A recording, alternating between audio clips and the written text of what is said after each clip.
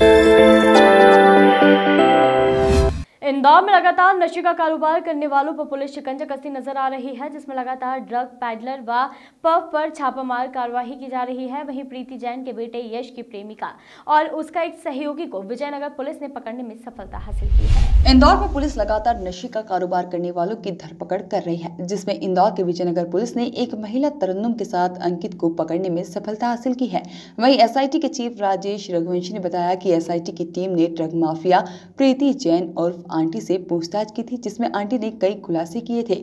उसी मामले में विजयनगर पुलिस ने तरन्नुम नाम की महिला और उसके सहयोगी अंकित को गिरफ़्तार कर उनसे पूछताछ की। वही पूछताछ में महिला तरन्नुम ने कई चौंकाने वाले राज खोले, जिसमें यश जैन इंदौर शहर के पब, बार व रेस्टोरेंट में पार्टी के नाम पर स्कूल व कॉलेज के स्टूडेंट्स को बुलाकर उन्हें नशे की लत लगा देता था। वहीं यश की प्रेमिका तरन्नुम यश के साथ मिलकर स्टूडेंट्स को ड्रग्स बेच दिया करती थी। एसआईटी की पूछताछ में प्रीति जैन और आंटी ने बताया कि यश व आंटी दोनों मिलकर गिरोह संचालित कर रहे थे।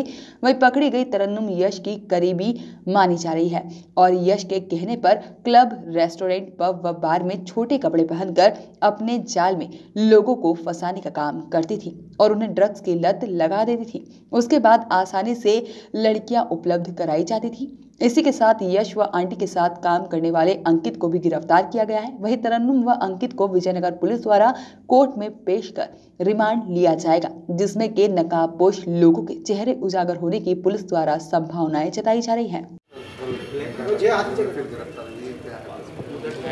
जैसा आप लोगों को मालूम है कि इंदौर पुलिस द्वारा अवैध मादक पदार्थों के विरुद्ध कार्रवाई की जा रही है। इसमें पूर्व में प्रकरण पंजीबद्ध किया गया था। उसी तारतम्य में विजयनगर थाना में कल दो गिरफ्तारियाँ हुई हैं। उसमें एक युवती है और एक युवक है।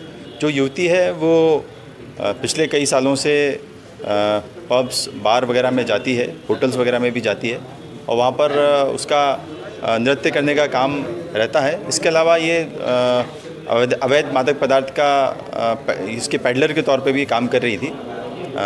पूर्व में जो विवेचना हुई है, उसमें साक्ष्य प्राप्त होने पर इसकी गिरफ्तारी की गई है। और जो युवक है वो भी इसी रैकेट में शामिल है। अमूमन वो हुक्का भरने का काम अच्छा हुक्का भरता है इस तरह की उसकी शहरत रही है और वो हुक्का भरने का काम करता रहा है। और इसके अलावा जब हुक्का बार बंद हो गए तो फिर इसी ड्रग रैकेट में शामिल हो गया और वो सप्लाई का काम करता है। Bureau report voice of right.